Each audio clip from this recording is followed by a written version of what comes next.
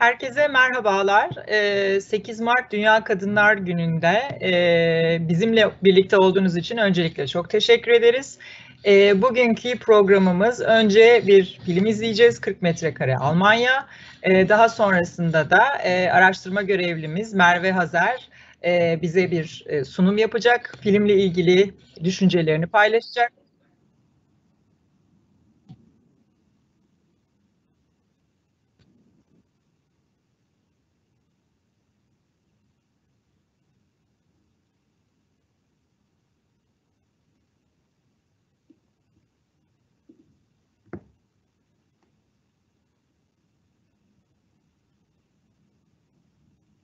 E, sonrasında Nihan hocamız e, kadının ev içindeki rolleri konusunda e, çeşitli e, yorumlarda bulunacak. Ben de son olarak e, kadının e, kamusal alandaki e, rolü konusunda e, çeşitli düşüncelerimi sizlerle paylaşacağım. O yüzden e, şimdi filmimizi e, seyretmeye başlayabiliriz. Tekrar çok teşekkürler.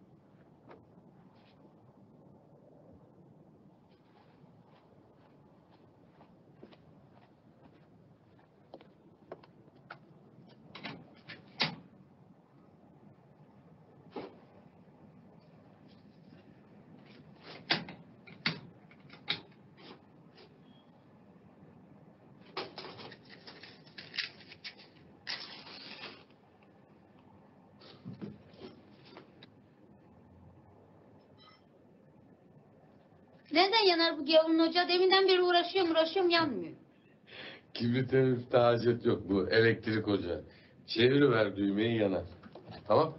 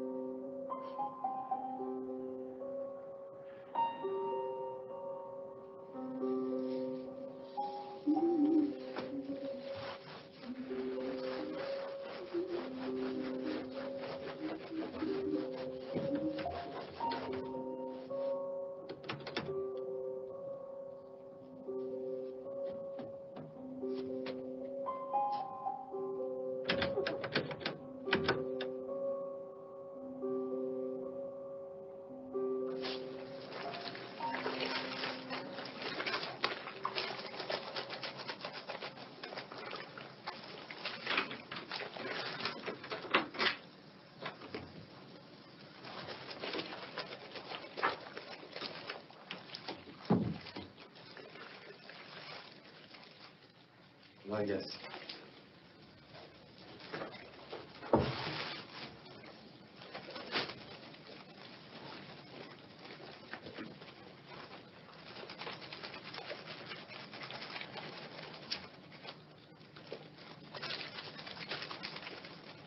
Ne o kız? Ne bu surat?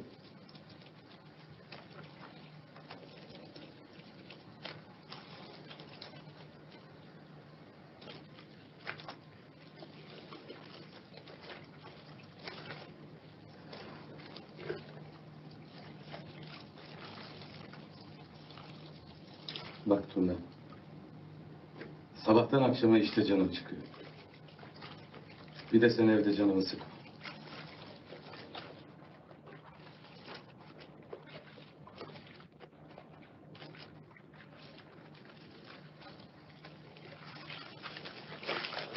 Ne var kız senin? Kapıyı ne kilitliyor? Hapsediyorsun beni burada. Hayvan mıyım ben? Bak Turna. Sıçtırtma ağzına şimdi. Buraları bizim oraya benzemez. Burası Almanya. Onların ne bak olduğunu bilmezsin sen be. Hem nereden biliyorsun kapının kapalı olduğunu? Dışarı mı çıkacaktın? Çık. Hadi çık. Halk var dışarıda çık. Çıkmayacaktım. Kapının önünü silecektim.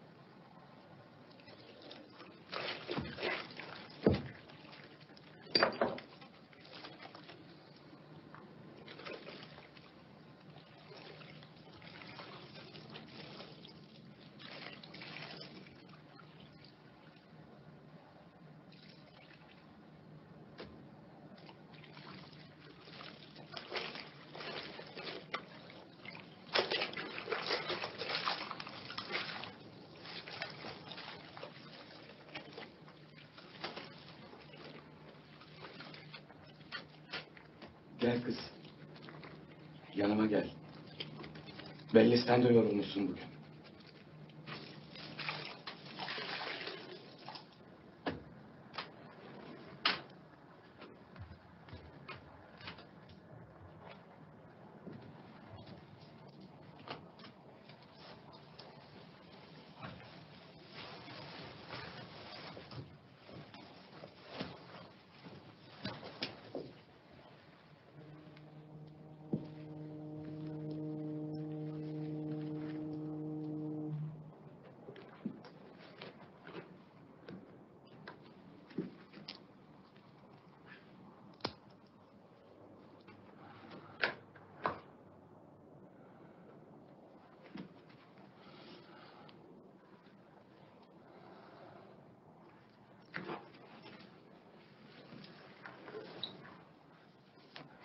Her şeyin sırası var Behrem. Şşt, canım çekti kız.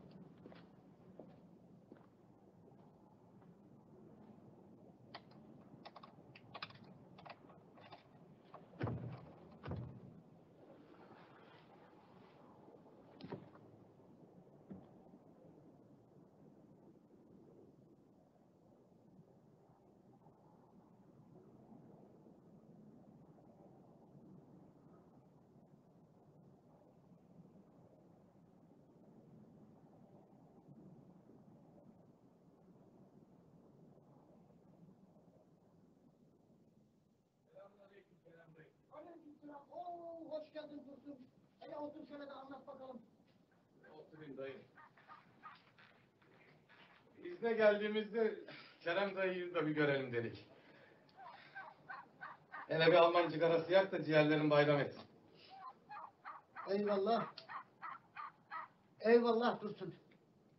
Almanya'ya gittin gideni ne yaparsın ne edersin hele anlat bakalım. Ne edelim be Kerem dayı? Bir fabrikada iş bulduk, çalışıyoruz. İyi kötü ekmek parasını kazanıyoruz. O değil de Kerem dayı, benim gelişimin başka bir sebebi var. Sana onu demeye geldim. Hayrola? Kerem dayı, benim kısmetim senin senin kızın turnaya düşmüş. Allah'ın emri peygamberin kavliyle onu istemeye geldim. Hele şu kahveleri içelim de gerisini sonra düşünürüz. Turna bize iki kahve getir kızım.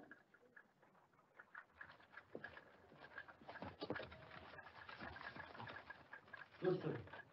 Sen bizim buraların kanunları bilirsin. 500 bin lira başlık parasına bu işi halleder.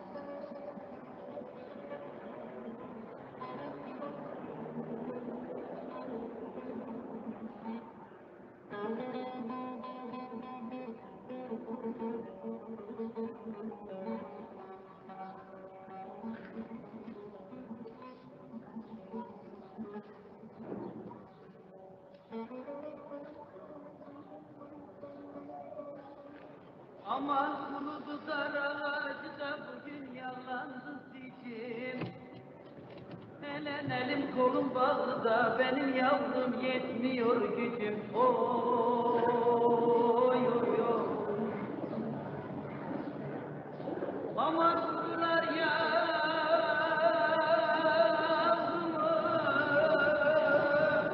Kanarlar için Hey, kannst du mal die Musik da drüben ein bisschen leiser machen?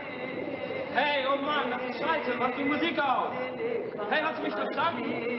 Alles klar?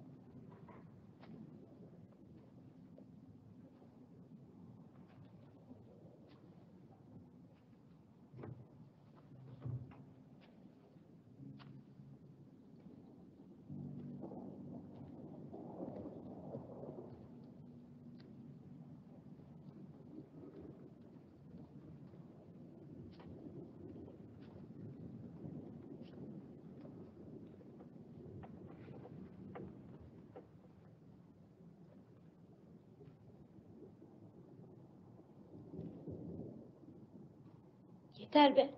Yeter gari be herif. Dayanamıyorum artık. Fenalıklar geçiriyorum. Aylardır bir kere olsun beni dışarı çıkartmadın. Almanya Almanya dediğim bu muydu? Her gün burada mahpusluk hayatı geçiriyorum. Buraya gelmeden önce babanın evinde mahpusluk çektim şimdi de burada. Kalbine taş mı bastın be herif? Ne ettim de beni buraya hapsettin? Öleceğim bir gün burada göreceksin. Bir gün geldiğinde ölüm bulacağım. Zaten ölmeden mezarda gibiyim. Dursun. Bir kere olsun beni dışarı çıkar ne olursun. Almanlar şöyle, Almanlar böyle diyorsun ama onlar da Allah'ın kulu. Ne derler ki adama? Hem sen sonra benim yanımda olduktan gayrı ne derler ki bana? Ne olur dursun. Bir kere olsun çıkart beni dışarı. Kendime geleceğime pişmanım.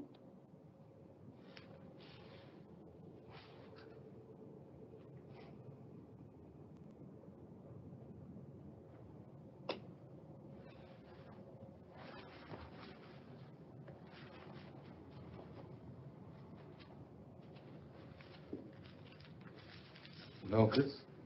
Ne oldu yine?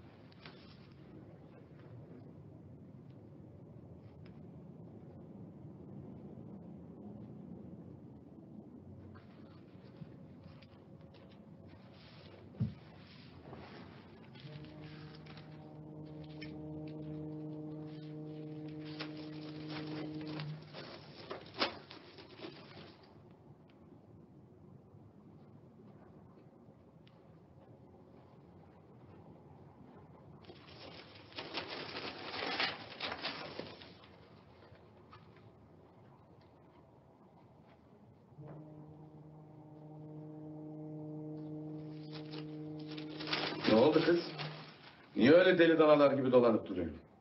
Hadi açlıktan öleceğim. Yemek yap bana.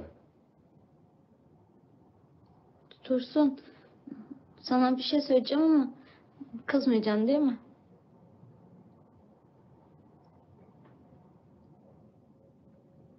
Kızmayacağım. Hadi söyle bakalım. Ne olur Dursun bir kerecik olsun dışarı çıkart beni. Dayanamıyorum galiba. Seni bu pazar doma götüreceğim. He? Gönlün oldu mu şimdi kız? Sen mi söylüyorsun Dursun? Hakikaten mi çıkaracağım beni dışarı? Nereye gideceğiz? Doma gideceğiz dedik ya kız. Ne yapılır orada? Don mudur nedir? Dom Almanların bayram yeri. Orada dönme dolap, atlı karınca, şeker helva. Ne istersen var. Gör bakalım Almanlar nasıl eğleniyormuş. Döme dolaba da beni bindireceksin değil mi? Bindireceğim kız, bindireceğim. Ama sen şimdi yemeğe hazırla. Açlıktan gebereceğim vallahi.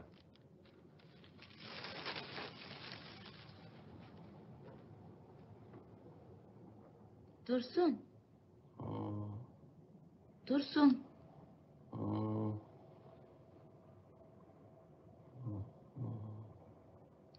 Dönme dolap ne kadar yüksek? Dönme dolap ne kadar yüksek? Beş katlı apartman kadar yüksek. Oradan adam düşmez mi? Ne düşmesi kız? Adamı öyle bağlıyorlar ki değil. Sen bunları ne merak ediyorsun? Yarın gidip göreceksin nasılsa. Uyu şimdi hadi.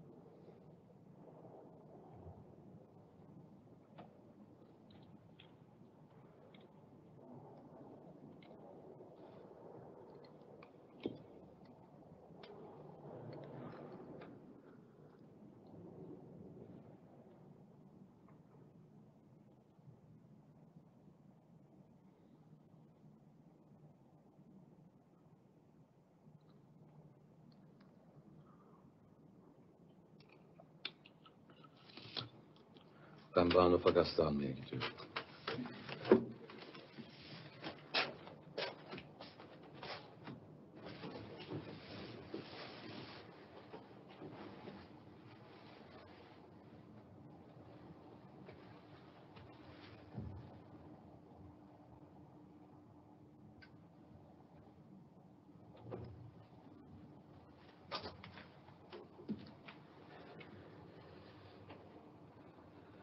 Ben şimdi dönerim.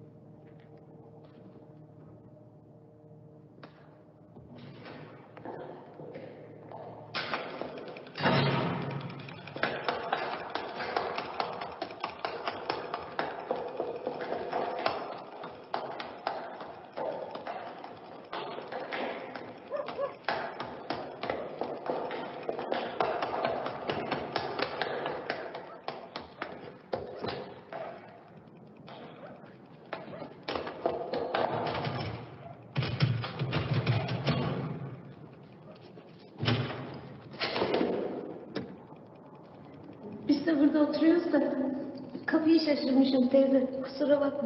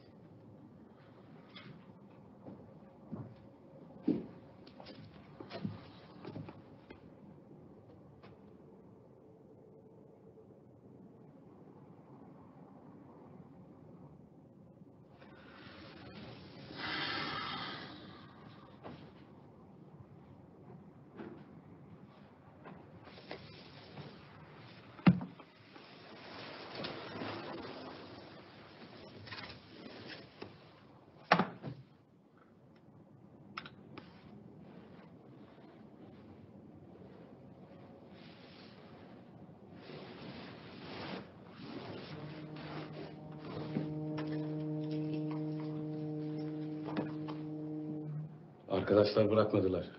İskambil'e kalıp saati unutuvermişiz. Neyse kusura bakma. Bir daha sefere çıkarız. Allah'ın günü bitmedi ya.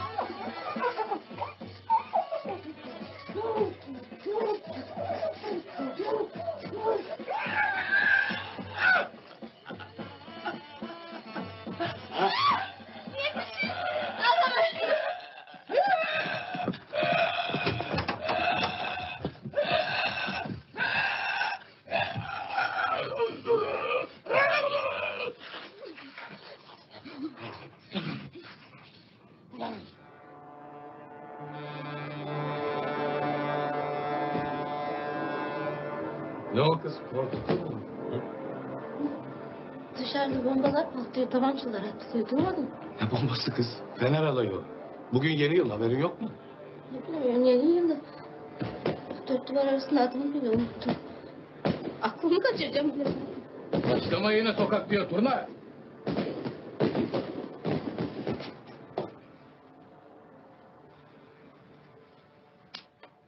Okun deli. Deliye dönecekmiş. Neyin eksik ki be? Ne tarlaya çapaya gidiyorsun, ne teze, ne boka elin değiyor. Rahat kıçına mı battı burada? He? Şu haline bak. Sen ne işe yararsın ki be? Daha bir çocuk bile doğuramadın. Bir oğlan bile veremedin bana. Almanya Almanya diye köyde anamın başının etini yedin. Burada da benim başımın etini yiyorsun. Hadi. Çık dışarı. Çık. Bot var dışarıda çık. Kıçını gezdir orospular gibi alamanların içinde.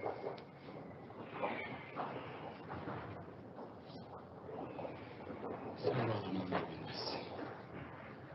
Mikrop bu millet mikrop. Evlilik nedir bilmezler. Sevgi nedir, namus nedir bilmezler. Kışları başları açık sokaklarda dolaşırlar. Onları mı özeniyor yoksa ha? Geçenlerde fabrikada duydum. Yeni yeni kadınlar türemiş. Kadınları, kızları erkeklerinden ayırmak için yurtlara, derneklere götürüyorlarmış. Hatta daha da ileri gidip kocalarıyla nasıl yatıp kalktıklarına dair sorular da soruyormuş. Yok efendim biz karılarımızla yatakta nasıl yatarmışız? Tövbe estağfurullah. Yok onları döver miymişiz? Ulan size ne be? Size mi kalmış bizim terbiyemiz? Hükümet de onlardan yana. Devlet de onlardan yana. Sırf kadınları ayırsalar iyi. Çoluk çocuğu da analarından babalarından ayırıyorlar. Bilmiyor mu bizim Mehmetgillerin küçük kızın başına gelenleri? Kızını ayırdılar adamcağızın. Neymiş? Babası kızını dövmüşmüş. Döver tabii, döver. Size ne?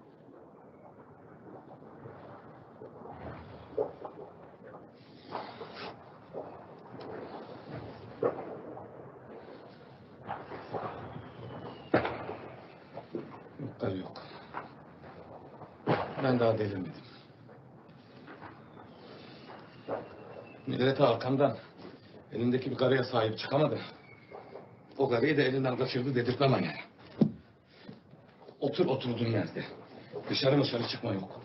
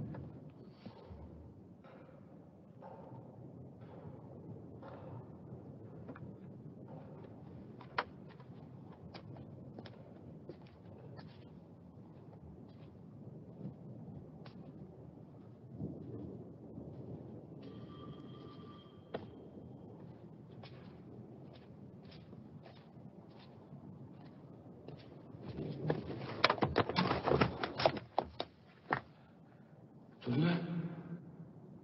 Turna kız. Turna. Turna. Ne oldu kız? Ne var? Hastalandın mı? Boşum dönüverdi. Dünyam karardı. Geçti artık.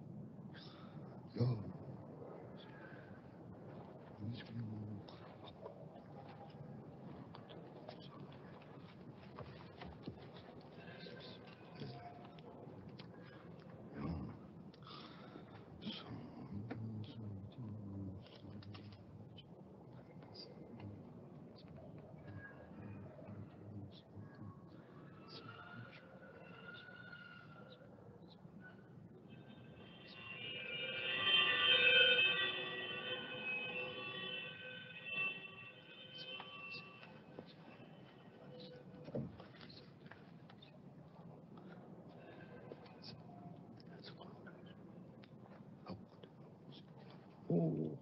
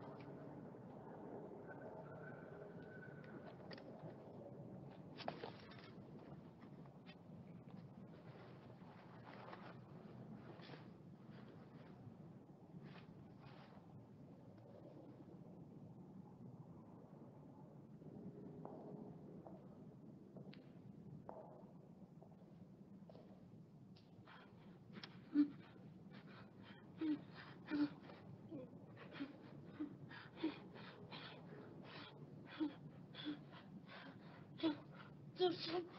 Midem bulanıyor benim.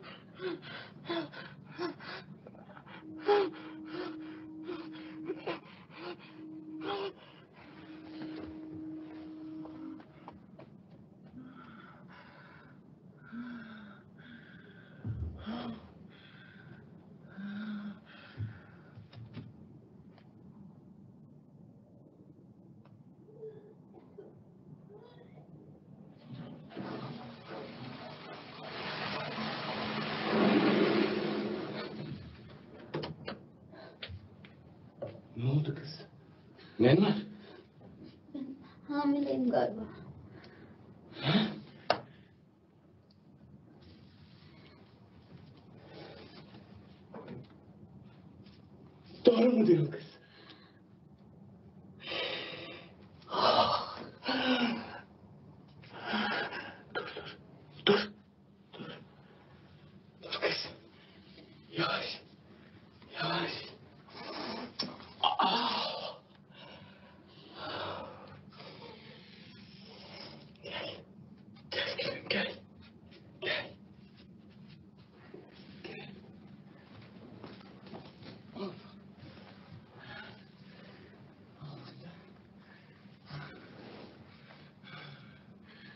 Turna.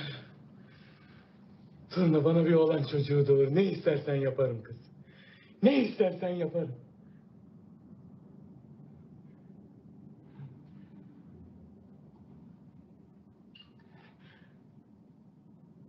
Dışarıda çıkarırım kız.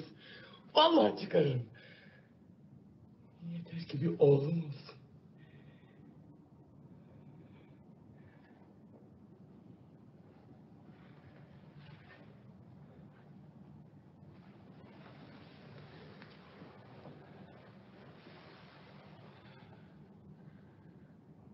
Oğlum olacak. Baba olacağım. Baba olacağım. Baba olacağım. Ey koca dursun be. Baba olacağım be. Baba olacağım be.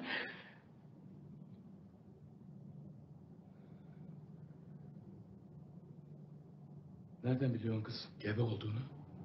Adet görmüyorum, başım dönüyor, kusuyorum. Gebeyim işte.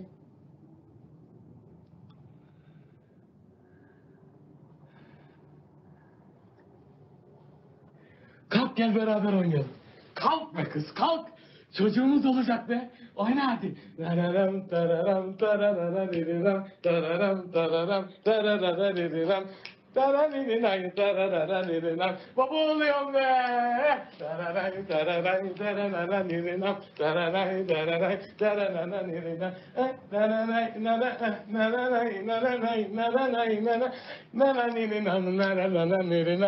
Oh. Oh Turna oh. Komşular görecekler. He? Komşular mı görecek? Görsünler be. Baba oluyorum be. Baba oluyorum baba. Father, Father, even the Father, from all the time.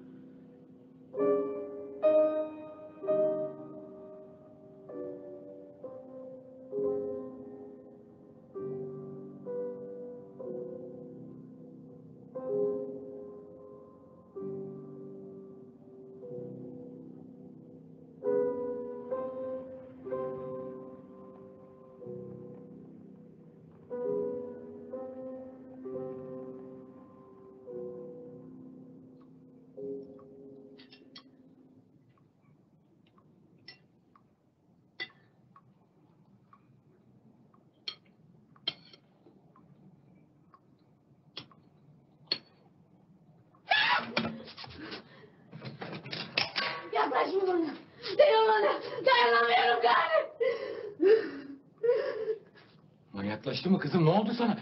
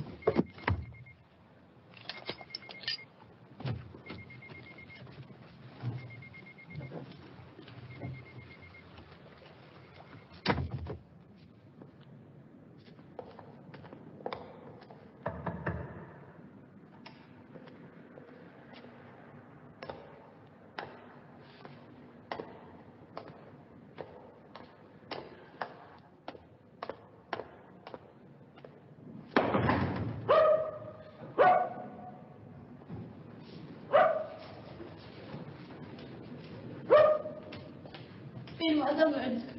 Ne olur teyze yardım eder misin bana? Ich verstehe Sie Ne nicht. diyeceğim bilmiyorum. Ich bin hier erst neu eingezogen. Ich kenne hier niemanden. Ich bin eine alte Frau.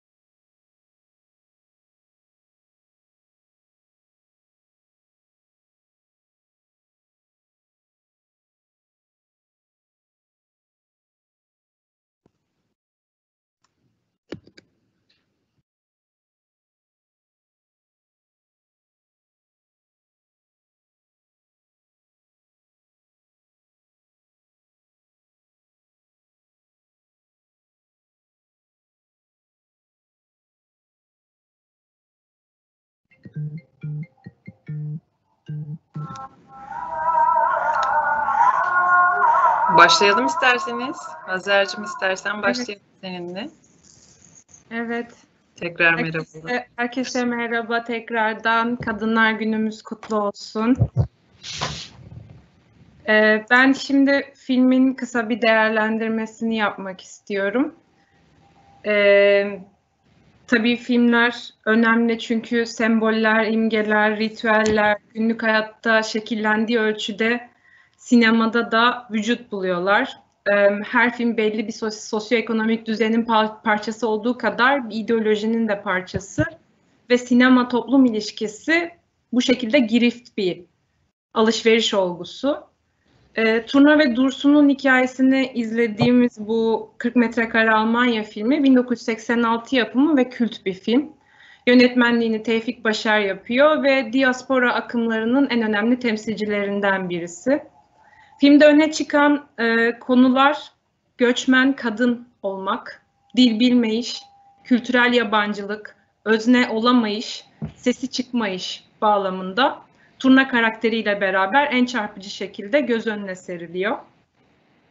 Filmin başka bir e, altını çizdiği unsur ise göç hali, sınır geçme hali, coğrafi bir eylem olarak sınır geçme hali ama aynı zamanda kültürel bir sınırın da aşılması.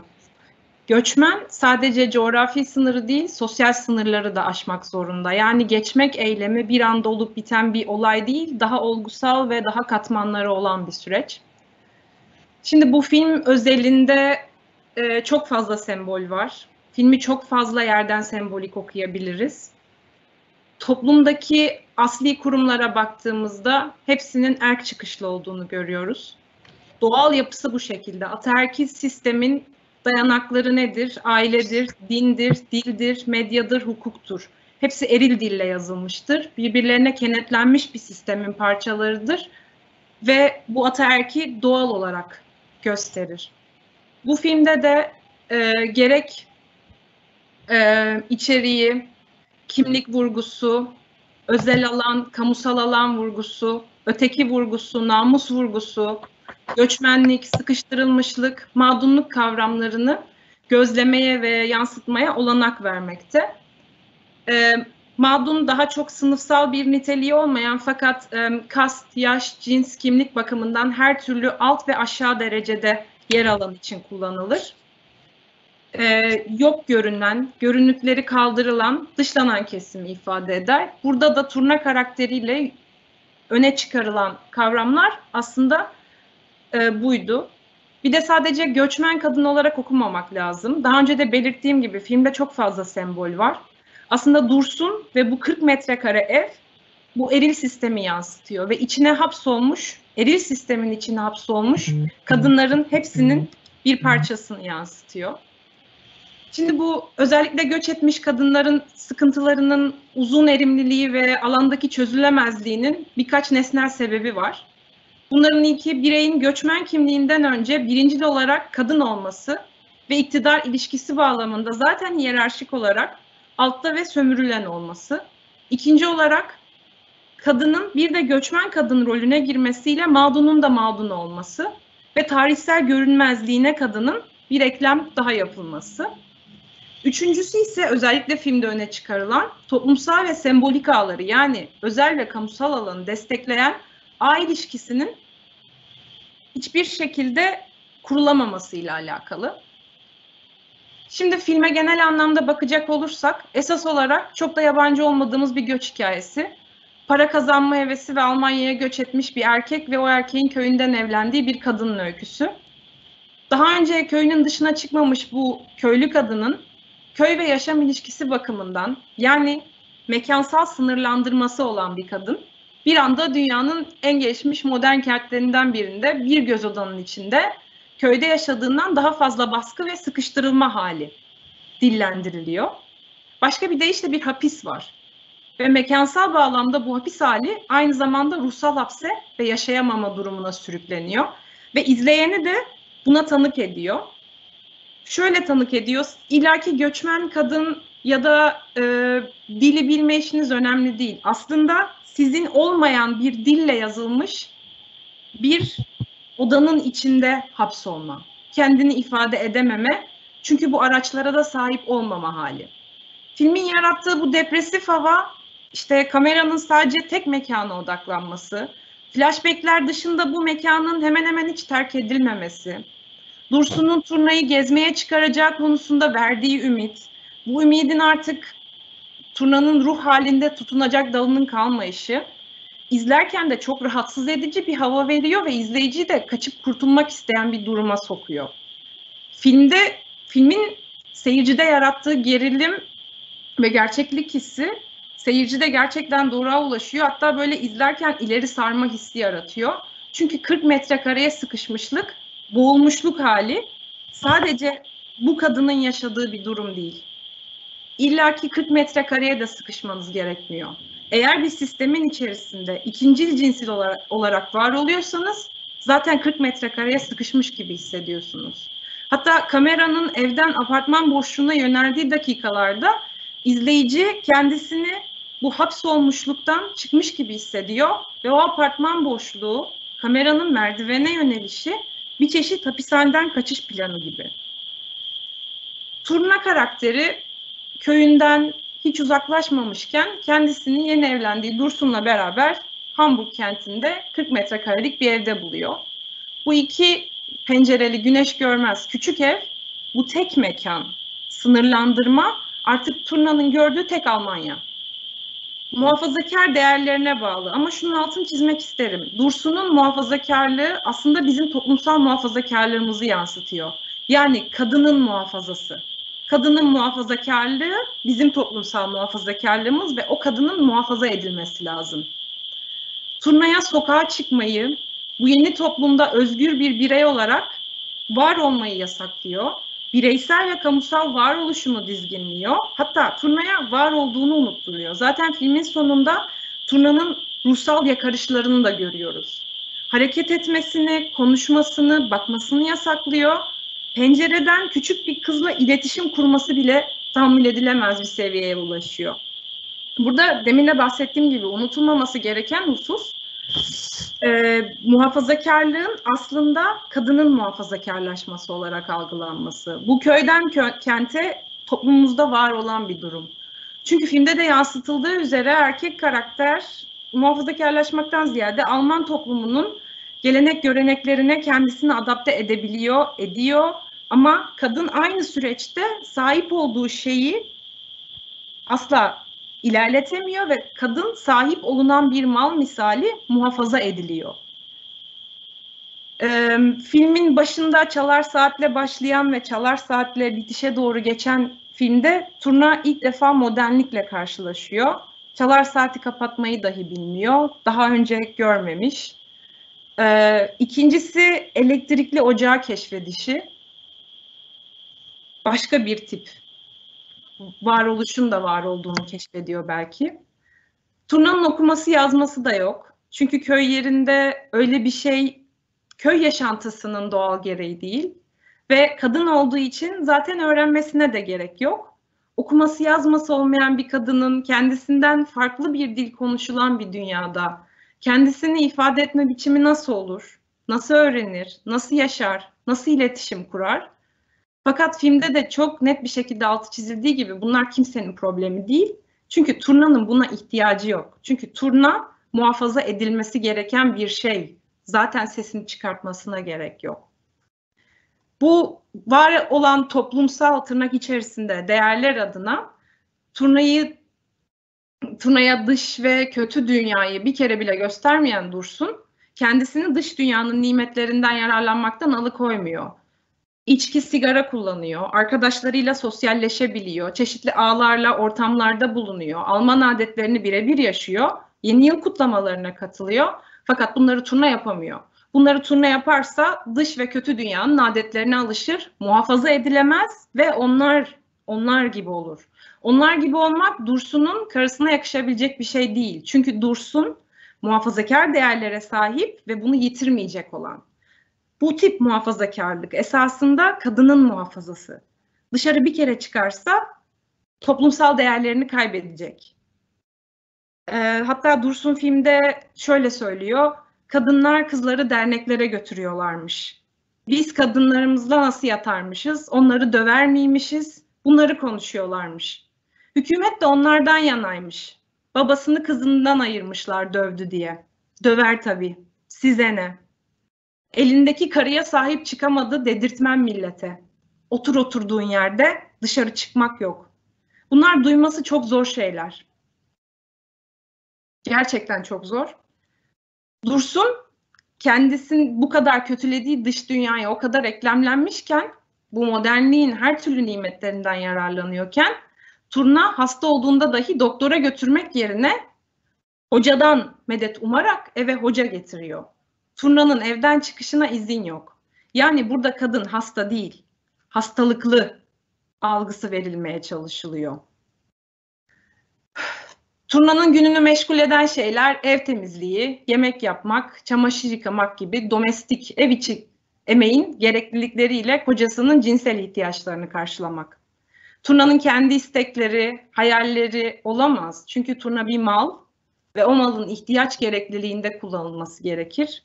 O malın duygu ve düşünceleri olamaz. Dahil olduğu sınırlar çerçevesinde hareket etmek zorunda. Kadına bakış bu şekilde yansıtılıyor.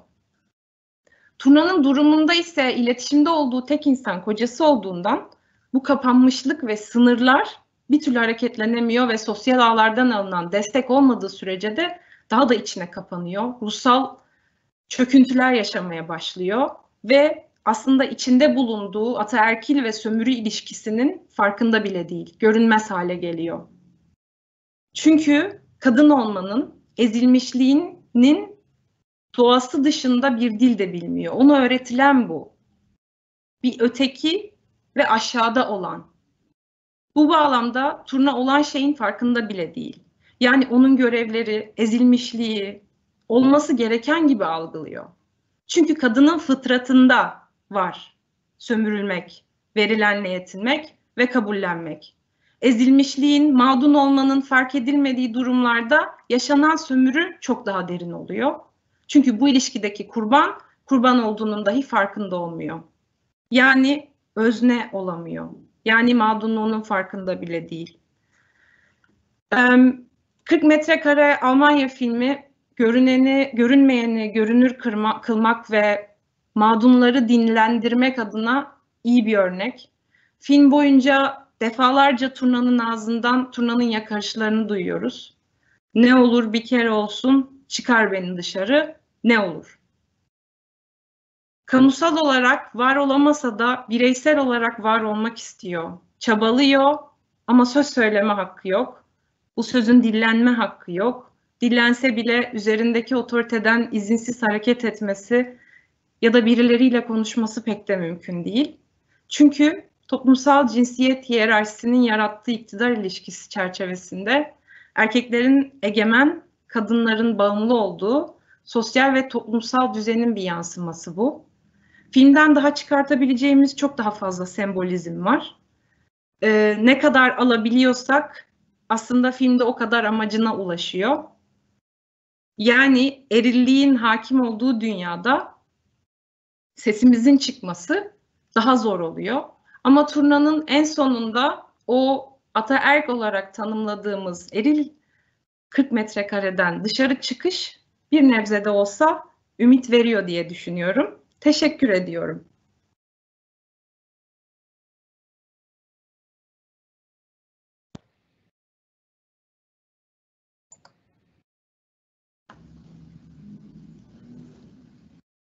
Teşekkürler Azer'cim. Zeynep Hocam bir şey söyleyecek misiniz? Ee, yok katılıyorum. Hani kesinlikle çok doğru şeyler ifade etti. Hani ben daha farklı bir açıdan bakacağım. Ee, kabul edersen senden sonra da ben şey yaparım Tabii. ama bir sorumuz var. Onu soru cevabı en sona mı e, alalım? Nasıl yapalım? İsterseniz öyle yapalım. Tamam. Hocam. Okey. Tamamdır. Teşekkürler Azer'cim ağzına sağlık. Film de çok çarpıcı, yorumun, yorumların da çok çarpıcı ve güzeldi. Ee, eminim herkese bir e, yol açmıştır, bir düşünce yapısı oluşturmuştur filmin üzerine. Ee, çok keyifli bence. Daha çok yapalım bunu. Ee, daha çok film izleyip daha çok üzerine söyleşi yapalım. Ee, bence herkes için e, çok faydalı e, bir girişim oldu. Ağzınıza sağlık tekrar.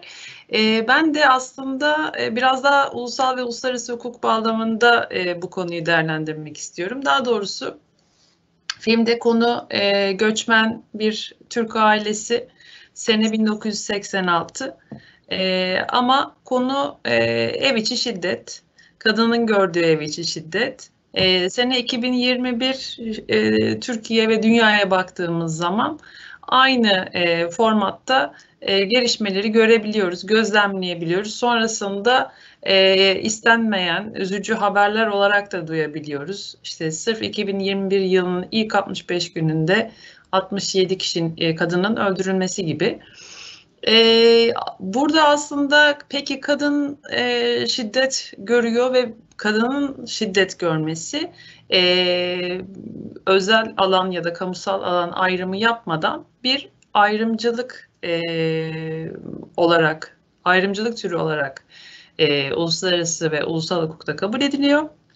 Ve bu e, bir insan hakkı ihlali olarak kabul ediliyor. Ne zamandan beri bu insan hakkı ihlali ile nasıl savaşabilir kadın bireysel olarak birazcık ondan bahsetmek istiyorum ben de.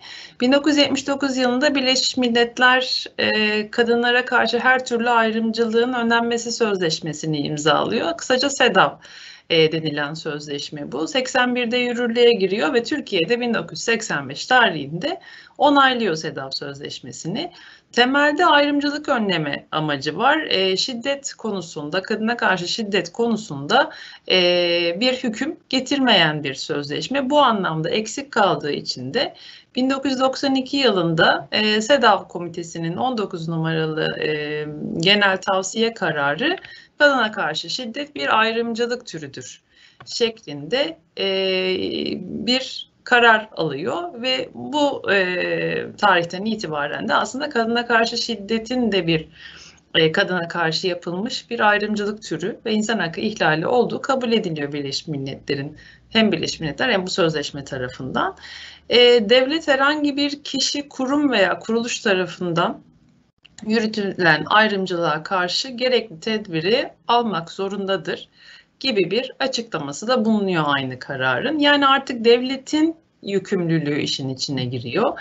Yani e, kamusal alan, özel alan ayrımı yapılıyor. E, kamusal alanda e, yapılan ayrımcılık ya da şiddet, kadına karşı şiddet durumu çok görünür olduğu için daha e, fazla belki e, korunabiliyor. Ama özel alanda, e, özel alan denilen ev içi şiddeti önlemek, şiddet eylemlerini e, soruşturmak, failleri cezalandırmak, mağdurun zararını eğer yaşıyorsa tabii ki tazmin ettirmek ise devletin yükümlülüğüne bırakılıyor.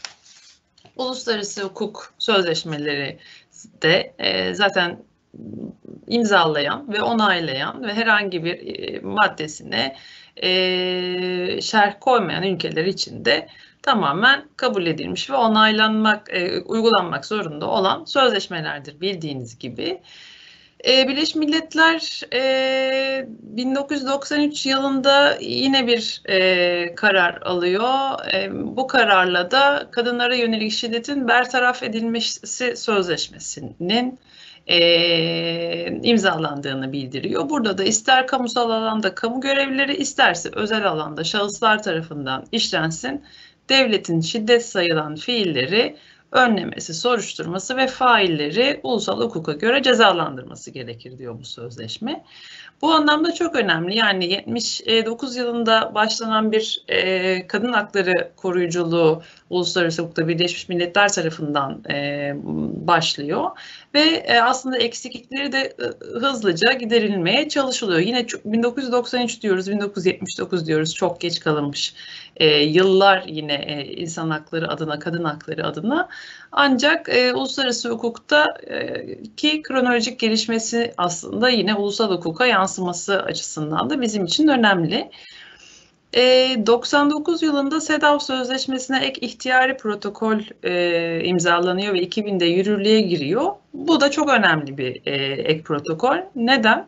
Çünkü artık bireysel başvuru hakkı e, kişilere tanınıyor.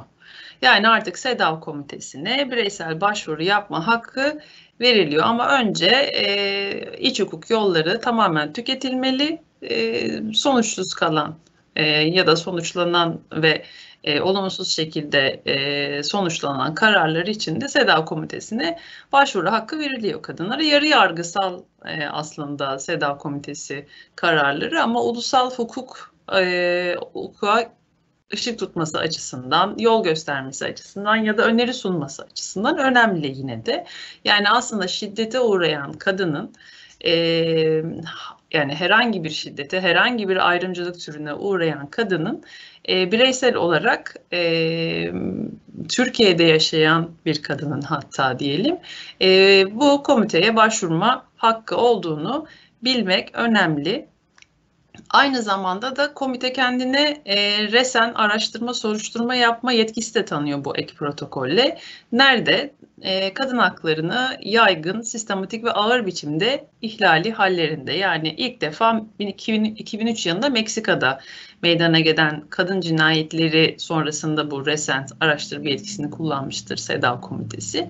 Bu anlamda bu da yine önemli e, bir gelişme uluslararası hukuk ve yine ulusal hukuktaki kadın e, hakları açısından. Çok pardon. Eee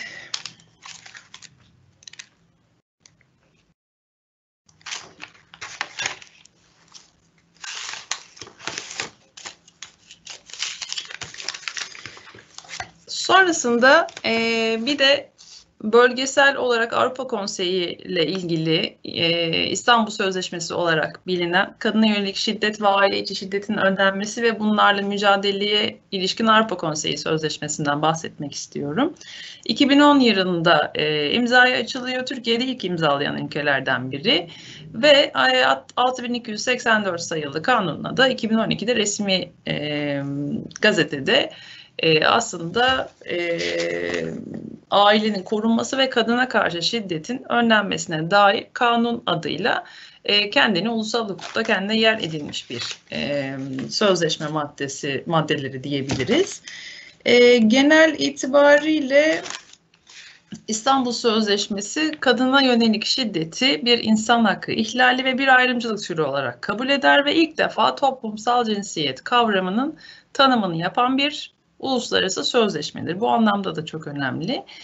Ee, peki niye tartışmalar var? Niye son dönemde özellikle e, 2020 yazından itibaren İstanbul Sözleşmesi'nden Türkiye'nin ve birkaç tane AB üyesi ülkenin e, çekilme e, ihtimalinin olduğunu, e, bu konuda aslında e, kamusal alanda diyelim e, çeşitli açıklamaların yapıldığı ve bunun üzerine birçok tartışmaların e, yani devam etmesi, yürümesi e, neden? Bir onu e, çok kısaca bahsedeyim isterseniz.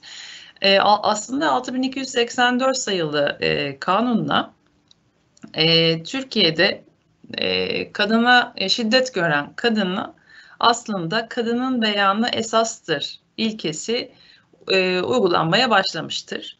E, bu ne demek? Yani e, tedbir e, almak, uzaklaştırma almak, e, kadın ve çocuklar için hatta e, cinsel taciz ya da tecavüz e, vakalarında e, dahi kanıt yani belirli bir kanıt, delil, e, bir belge olmasa dahi kadının, çocuğun beyanı esastır ilkesi e, kullanılır. Bu ilkeye dayanarak da sırf kovuşturma değil, e, ceza alma e, noktasında da yine bu kadın beyanı esastır ilkesiyle doğru orantılı bir şekilde e, mahkemeler ilerler. E, bu nedenle de aslında e, 6284 sayılı kanun ve İstanbul Sözleşmesi e,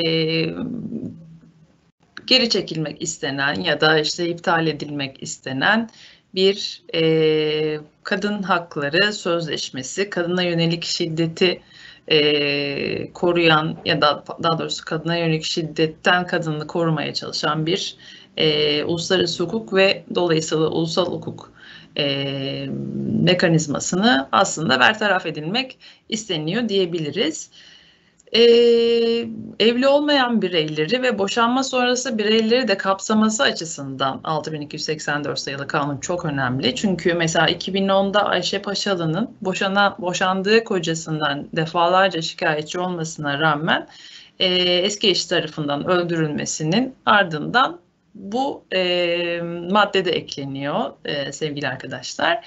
Yani evli olmayan, hiç evlenmemiş ama birlikte e, bir hayat e, süren e, çiftlerin de e, çiftlerde yer alan kadınların diyelim e, gördüğü şiddeti de koruyan e, ve boşanma sonrası şiddeti de koruyan, cezalandırmaya çalışan, soruşturmaya çalışan bir e, kanun. Bu anlamda çok önemli. E, değil e, geri çekilmek, iptal etmek daha da çok uygulanması gereken bir e, kanun ve sözleşme. Neden? E, bugün radyo, televizyon, işte 8 Mart e, Dünya Emekçi Kadınlar Günü için nerede herhangi bir şey e, okuyup ya da dinlerseniz e, hep aslında Türkiye'deki 2020 yılındaki 300 kadın cinayeti, 2021 yılının da ilk 65 gününde 67 kadın cinayeti den bahsederken bu sözleşmeden İstanbul Sözleşmesi'nden ya da 6284 sayılı kanundan vazgeçmek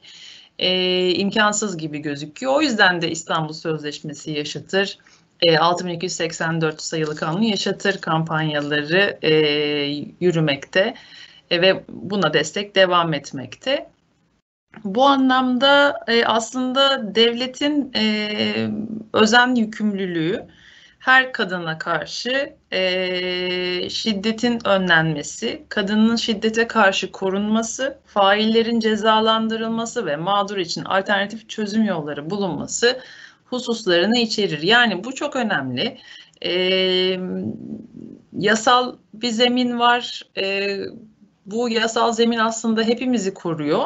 Ama nasıl koruyacak? Ne anlamda koruyacak? E, bu burada devletin yükümlülüğü e, çok yoğun bir şekilde e, ele alması ya da yoğun bir şekilde uygulamaya devam etmesi lazım.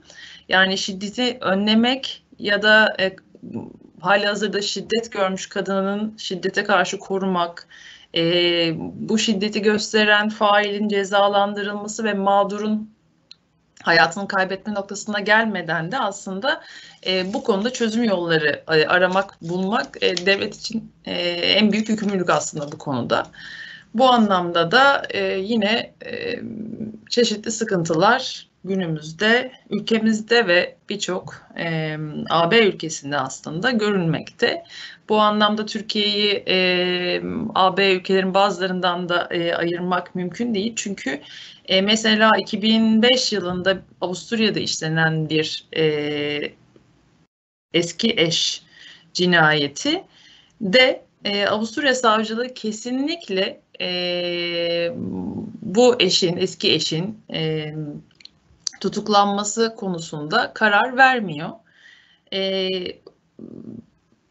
cinayet işlendikten sonra da neden diye sorulduğunda e, masumiyet karinesinden yararlanma ve adil yargılanma hakkının ihlali olarak görüyor. Yani failin e, eski eşini öldüren kişinin e, adil yargılanma hakkını ya da e, ilk şikayette kadının beyanı esastır ilkesi olmasına rağmen e, bu beyana rağmen e, tutuklanan ya da gözaltına alan ya da soruşturulan e, erkeğin, kişinin aslında masumiyet karinesinden yararlanma hakkının ya da adil yargılanma hakkının ihlali olduğunu iddia ediyor. Burada da aslında e, SEDAV komitesi diyor ki e, failin temel hak ve özgürlüklerden yararlanma ve adil yargılanma hakkı mağdurun yaşama, fiziksel ve ruhsal bütünlüğünün korunması hakkından üstün olmamalı açıklaması var.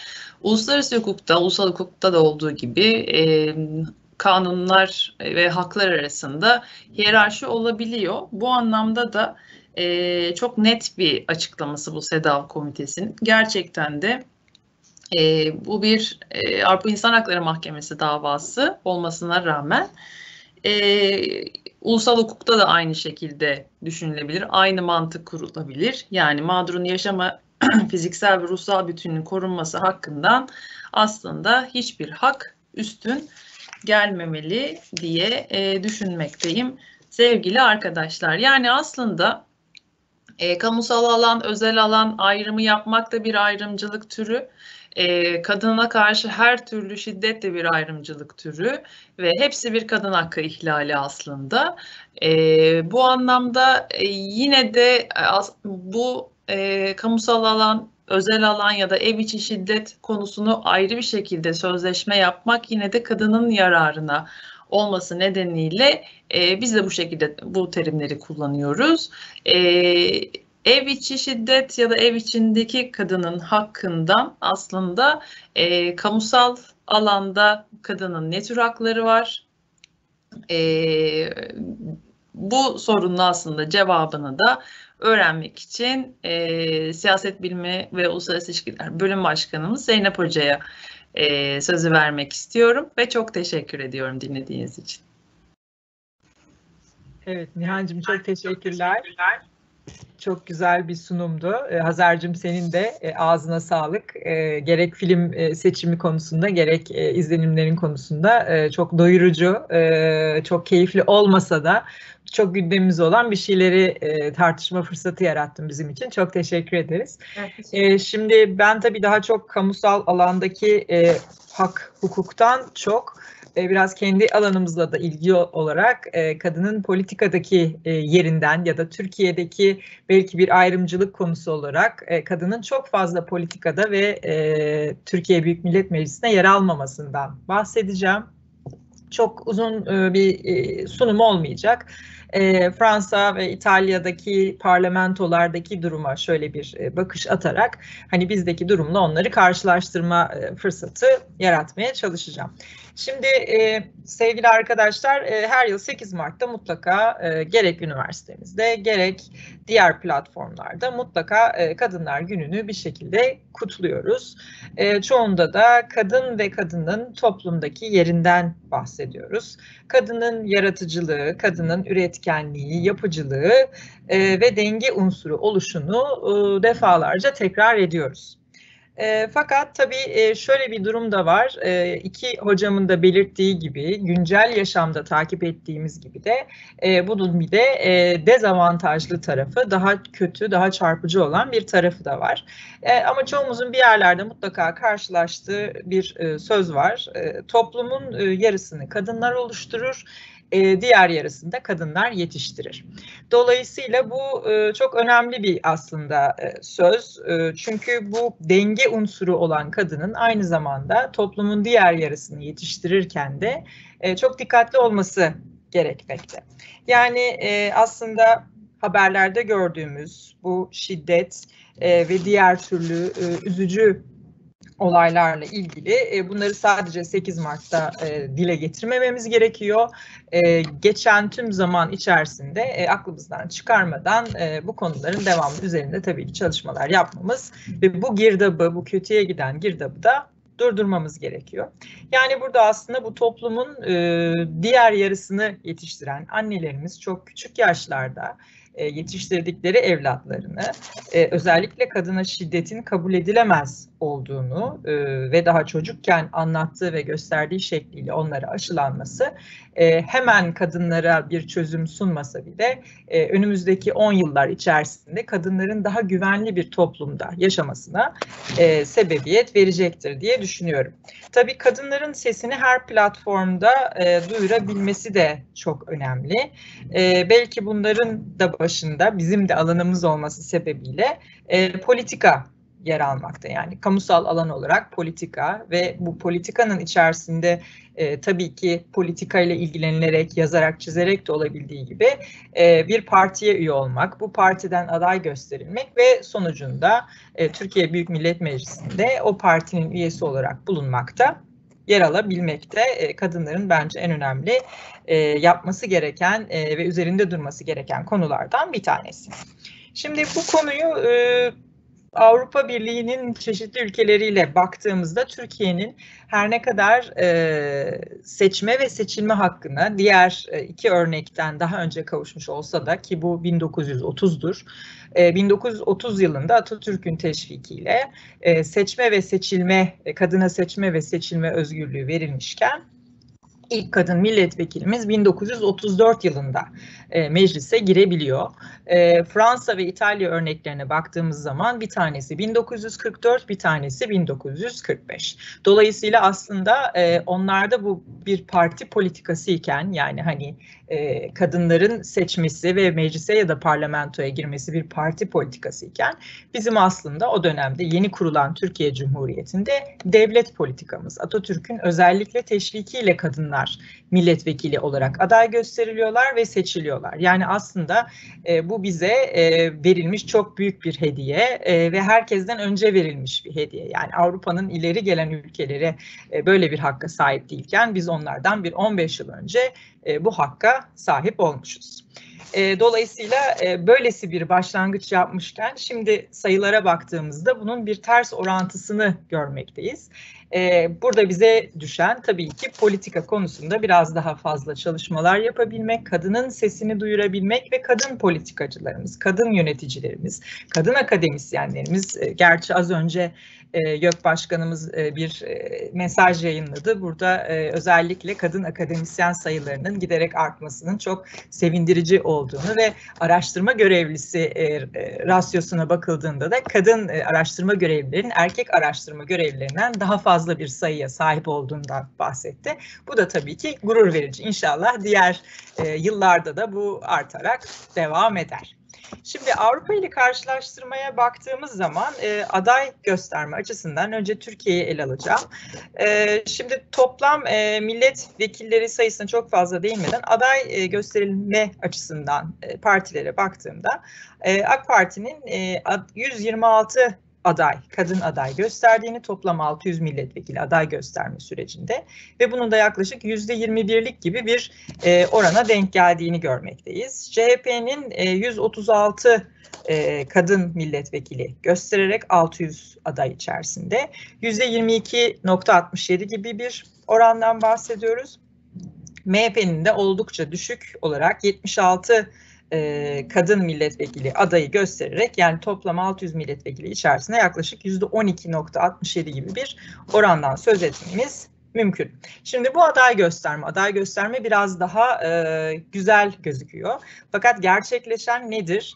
E, gerçekleşense e, AK Parti'de 126 e, aday gösterilmişken bunlardan sadece 53 tanesi milletvekili olabiliyor. E, CHP'de 136 adaydan 18'i adaylıktan milletvekilliğine geçebiliyor. MHP'de de 76'dan e, 4 kişiye düşebiliyor. Yani oranlara tekrar baktığımızda %17.97 ile AK Parti'nin daha önde olduğu, CHP'nin %12.33 ve en kötü durumda olan da e, MHP'nin %8.16 ile olduğunu görebiliyoruz. Şimdi e, bu bağlamda tabii şöyle bir şey var. E, kadınların sadece 3 e, üç partinin tüzüklerine baktığınız zaman kadınların engel olma kadınların e, partilere engel olmasında herhangi bir e, kısıtlama gözükmüyor. Böyle bir e, madde yok. E, fakat bu konuda genellikle kadınların daha çekinsel davrandıkları ama bazı tüzüklerde de kadınların daha çok kadın kollarında e, çalışmaya teşvik edildiklerini görüyoruz. Yani milletvekili e, aday gösterilmesi ya da seçiminden çok aslında parti içerisinde koordinasyon çalışmalarını yürütmeleri yönünde bir yönlendirme olduğu gözükmekte. E, ve sonrasında da tabii ki bazı e, parti tüzüklerinde işte ön seçim yoklaması, aday gösterilmesi ya da kontenjanların devreye girmesiyle e, kadınların e, özellikle e, daha kırsal alanda aday gösterilmediğini ya da çok az aday gösterildiğini görüyoruz. Tabii burada da yine bir e, şartlanma olabilir. Hani kadın kadın aday gösterilirse oy toplayamayacağı ya da o işte o oy toplasa bile seçilemeyeceği ya da çok kuvvetli bir e, erkek aday varsa o bölge içerisinde kazanamayacağı endişesiyle de yine kadınlar gösterilmiyor olabilir. Ama tabii hani bunların hiçbirisi çok geçerli sebepler e, olmamakta. Şimdi e, şeye baktığımız zaman, diğer ülkelere baktığımız zaman e, örneğin İtalya e, onlar da en son Haziran 2018'de bir genel seçim gerçekleştirmişler. E, onların da toplam 630 milletvekili var ve bunların 225'i kadın. Yani orantılarsak eğer %35.71 gibi bir orandan bahsediyoruz ki bu da üçte birin biraz üzerinde ve oldukça e, yüksek bir oran. E, ve e, şöyle bir kısıtları da var. Eğer seçime girecek parti toplam aday sayısının yüzde 40'ının altında kadın aday gösterirse bir sonraki seçimlerde partiye devlet tarafından verilen destek de oldukça azaltılıyor. Yani aslında karşılığında e, az kadın aday göstermenin karşılığında bir yaptırım da uygulayabiliyor İtalya. Böyle bir e, seçim sistemleri var. E, Fransa'da ise e, yine 2018'de yapılan e, seçimlerde e, onların da toplam 577 e, milletvekilleri var. Bunların 228'i kadın. E, bu da yaklaşık %39.51 gibi bir e, yüzdeye denk gelmekte.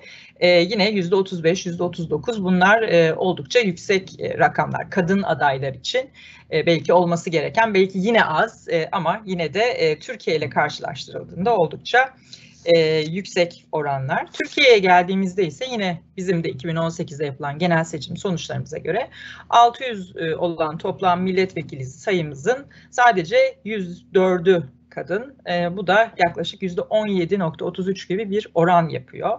E, İtalya'nın neredeyse yarısı, e, Fransa'nın daha da e, azı oranında bir e, kadın milletvekiline sahibiz. E, tabii e, bahsettiğim gibi her ne kadar biz e, kadınların seçme ve seçilme hakkına ve parlamentoya Türkiye Büyük Millet Meclisi'ne girmesine hak kazanmasını 1930'da kazanmış olsak da e, bu hakkı çok fazla değerlendiremediğimiz gözüküyor. Herkesten önce almış olduğumuz bu hakkı aslında çok kısıtlı olarak ve yıllar içerisinde de çok fazla arttıramadan e, devam ettiğimizi görüyoruz. Yani 1930'dan bu zamana gelinen süreçte %17 gibi bir oran olmamalı. En azından biz de %35'ler, %40'larda olabilmemiz e, gerekiyordu kadınların e, aday gösterilmesi ve seçilmesi açısından. E, dolay, dolayısıyla tabii e, bu üzerine çalışılması gereken e, bir konu. Ayrıca e, tabii TBMM'de yer alan kadın milletvekillerinin de e, gerçekten aktif olarak kadın konuları üzerinde çalışıp çalışmadıklarını bilmiyoruz. Yani onlar aslında sembolik adaylar mı yoksa bu konuda gerçekten e, çalışıyorlar mı? Bu konuda belli bir özgüven, belli bir e, görünürlük sağlayabiliyorlar mı kadınlar açısından? E, tabii bunun da takipçisi olmak gerekmekte. Yani hani sadece kadın olması ve seçilmesi onu tamam e, kadınları temsil ediyor ve kadınların e, birçok sorununa e, cevap buluyor anlamında aslında yorumlamamamız gerektiğini de söylüyor.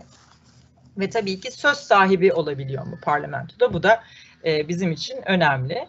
E, mecliste konuşma ve oturumlara katılıyorlar mı? E, konuşmalar yapılıyor mu, işte TRT'de gözüküyorlar mı, görünür olabiliyorlar mı? Ee, yoksa sadece seçildikten sonra hani parti politikası gereği seçildikten sonra daha çok içe dönük ve çok fazla görünür olmayan profiller mi sergileniyor? Bunların da mutlaka e, irdelenmesi gerekmekte. Peki neler yapılabilir diye düşünürsek eğer, e, tabii parti tüzükleri tekrar e, bir e, düzenlenerek daha fazla kadın üye alımı önünün açılması e, desteklenebilir. Bunların tabii her partinin kendi tüzüğünü e, bir şekilde e, tekrar elden geçirmesi gerekiyor. Seçim kanunu tartışılıyor, hala tartışılıyor seçim kanunu eğer e, düzenlenecekse, yeniden e, bir düzenleme gelecekse belki bu aşamada e, kadın aday gösterme konusunda da e, tekrar bir e, düzenleme, bir ekleme yapılması gerekebilir. Örneğin işte bu partilere verilen e, ödeneklerle ilgili tıpkı İtalya'nın yaptığı gibi belli sayıda bir kadın e, üyenin kadın e, meclis üyesinin e, gösterilmesi e, desteklenebilir. Bu da bir öneri olarak. E, ve tabii ki kadın, kadınların daha çok kamusal alanda e, ve politikada yer alması için de destek verilmesi gerekmekte. Burada sivil toplum kuruluşları da üniversitelerde, e, okullarda hemen hemen e, kamuda yer alan aslında herkesin bu konuya daha fazla duyarlı, daha fazla e, istekli olması gerekiyor. Yani Kadınlar Günü 8 Mart'ta evet her yerde, her şekilde herkes birbirini tebrik ediyor. Her yerde görüyoruz. Harika, süper. Fakat 9 Mart olduğu zaman 7 Mart'taki e, duruma geri dönüş oluyor. Yani bunun bir e, süre süregenliği olmuyor işin açıkçası. E, sürekliliği de olmuyor. E, bunu da bir şekilde tabii ki üstesinden gelmemiz gerekmekte. E, kadın toplumun en önemli parçasıdır. E, onun olmadığı, e, sesinin duyulmadığı e, bir toplum e, eksik, eşitsiz ve kesinlikle yoksundur. Dolayısıyla Nihan Hocam'ın söylediği gibi 6284 nolu kanun ve İstanbul Sözleşmesi e, yaşam hakkıdır, çok önemlidir, e, mutlaka da e, desteklenmelidir. E, ama tüm bunların yanında ben hala e, umutluyum. E, inşallah bir sonraki 8 Mart'ta daha güzel şeylerden bahsediyor olacağız. E, dolayısıyla e, hepimiz bunun için tabii ki çok çalışmalıyız ve desteklemeliyiz. E, ama bununla birlikte e, hepimizin Dünya Kadınlar Günü'nü günümüzü kutluyorum. E, umarım gelecek yıl çok daha pozitif bir e, modda, daha güzel şeyler söyleyerek, kadın başarılarını paylaşarak devam ederiz.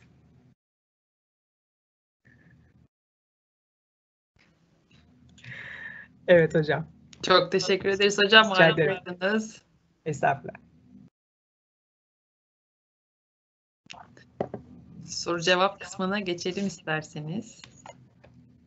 Um, galiba ilk soru ben e, konuşma yaparken geldi.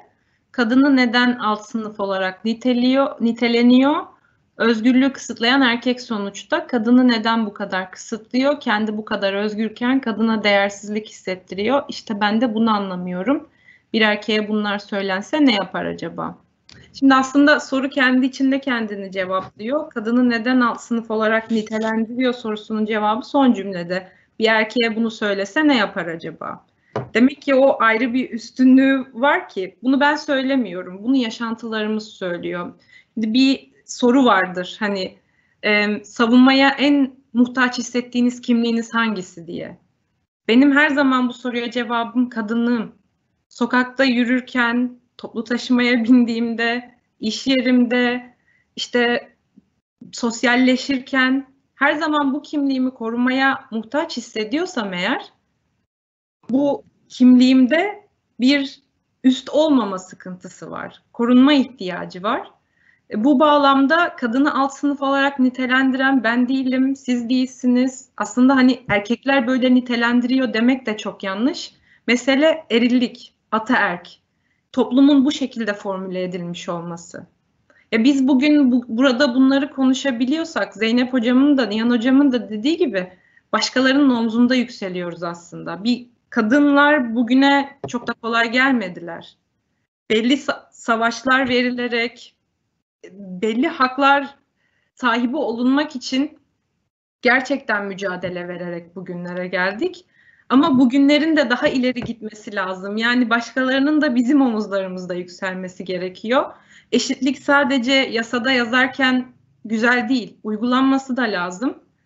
Her eşitlik adalet de değil, adil de olunması lazım. Ee, ikinci soru da galiba buna bağlı. Ya da ben cevaplarımı vereyim sonra diğer hocalarımız cevaplarını versinler aynı sorulara. Daha herhalde iyi olur.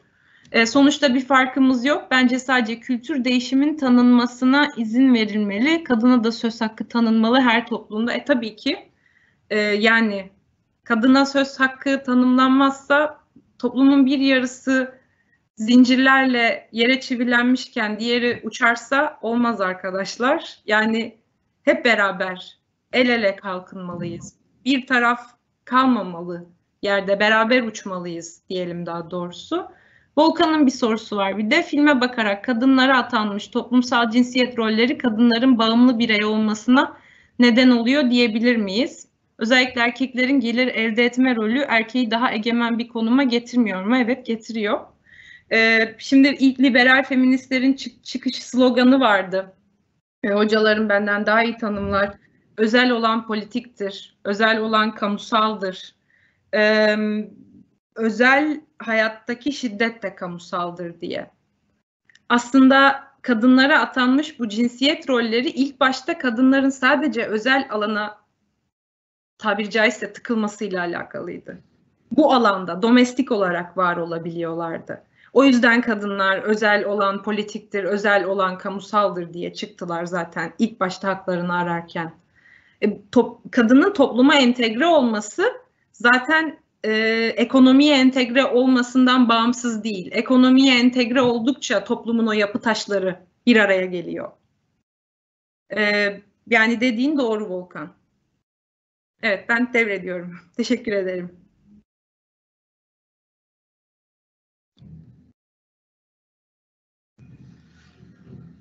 Zeynep Hocam size de soru var. Evet. Oradan devam edelim. İsterseniz öyle, isterseniz çok kısa okay. Volkan'ın sorduğu soruya bir şey eklemek istiyorum tamam. Hazir'in söylediklerini. Yani burada aslında e, düşük gelirli, e, dezavantajlı kadınların, yoksul kadınların ev içine hapsolması filmden yola çıkarak e, konuştuğumuz zaman e, erkek egemen rolü tabii ki çalıştığı için olabilir ama e, baktığımız zaman aslında sene 2021 ve ne kadar iyi eğitimli, ne kadar e, kadın erkek e, aynı evde ne kadar çok çalışan yani e, seviye olarak da belki e, çok üst seviyelerde çalışan e, kadınların yine e, evli oldukları ya da birlikte oldukları erkeklerden e, şiddet gördüğü örneklerini e, çok net görüyoruz. Yani aslında e, bu toplumsal cinsiyet rolleri kadına toplumda biçilmiş rollerin e, temelden e, değişmesi gerekiyor.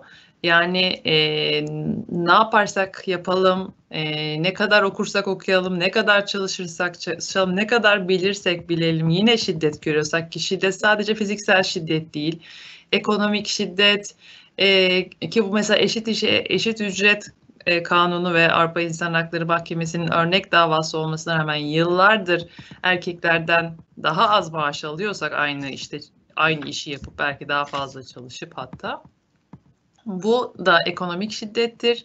Fiziksel şiddet bir sürü şiddet e, çeşidi e, zaten ayrımcılık ve kadın hakkı ihlali olarak e, kabul edilmelidir ve uluslararası ve ulusal hukukta da aynı şekilde kabul ediliyor zaten.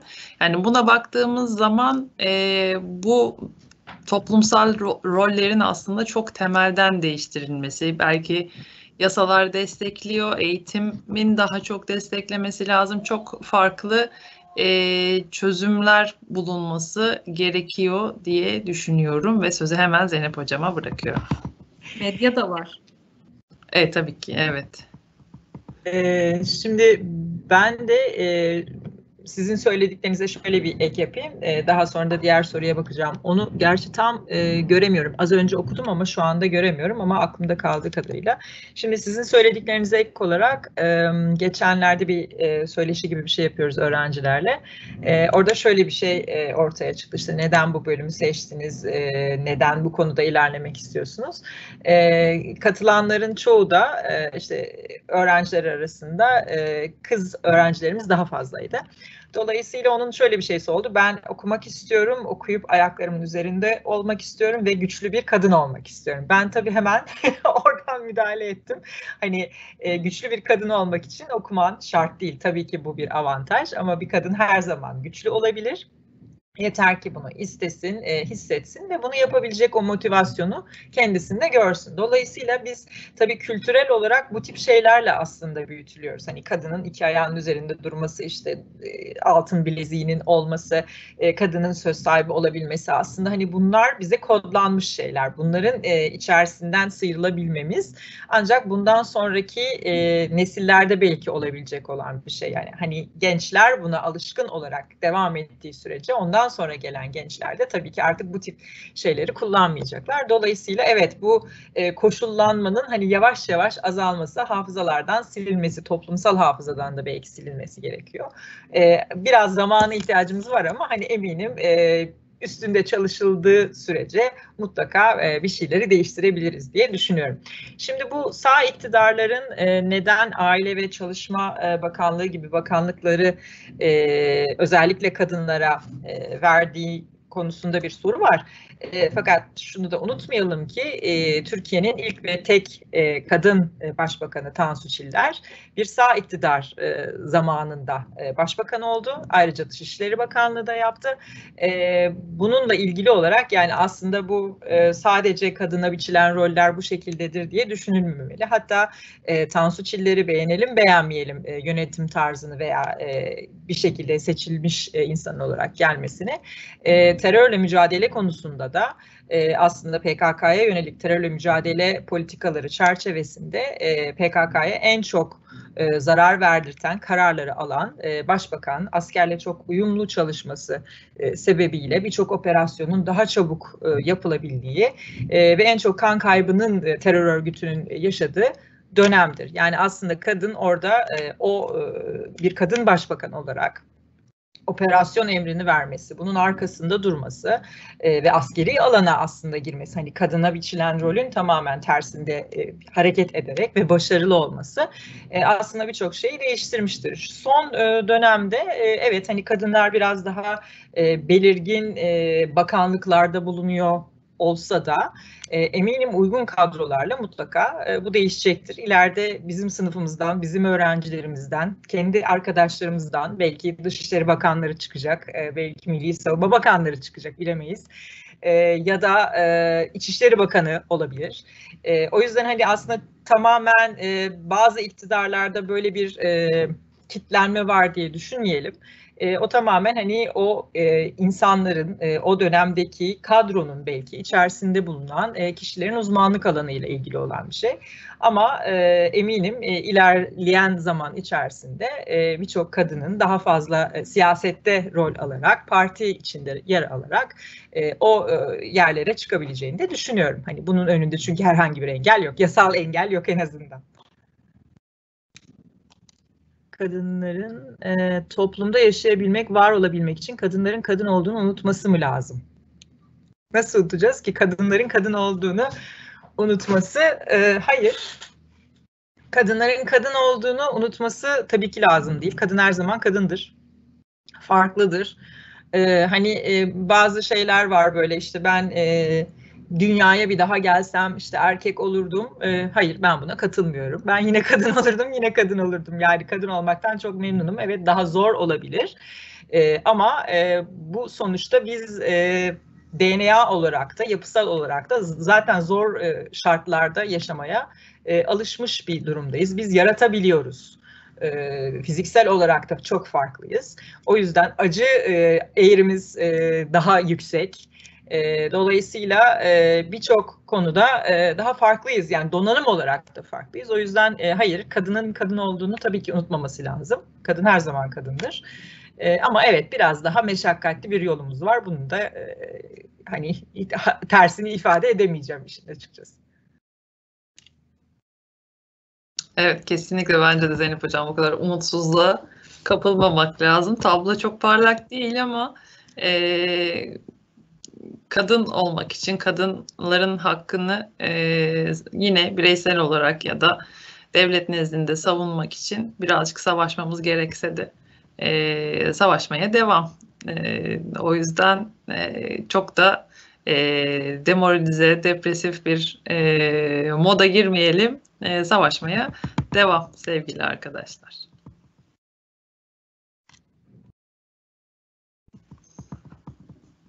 Başka soru yok galiba. Sanırım evet.